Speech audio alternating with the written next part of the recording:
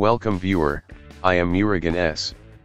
This video tutorial describes, Fix audio service cannot start access is denied in Windows 10. First method is type services in Windows search bar, click services.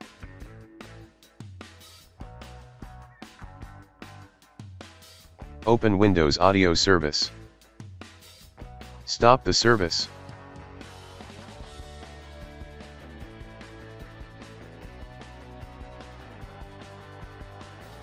Click Log On tab. Check Local System Account, also check Allow Service to interact with desktop. Click General tab, change Startup type to Automatic, click Start the service, click Apply, click OK.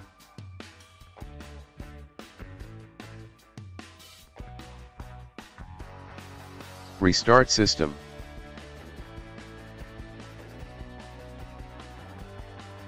Second method is type regedit in Windows search bar, right click run as administrator.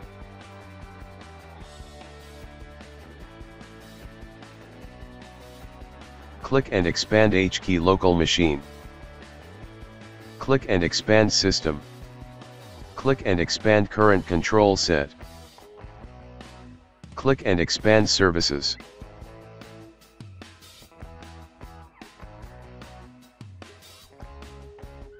Right-click Audio Service, click Permission. Click Add, click System.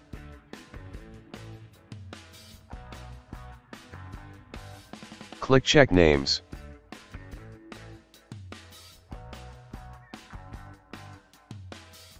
Make sure full control. Type Administrator, click Check Names, click OK.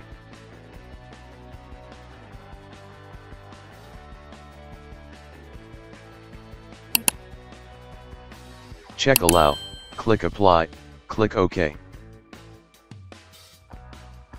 Close and exit registry, restart system.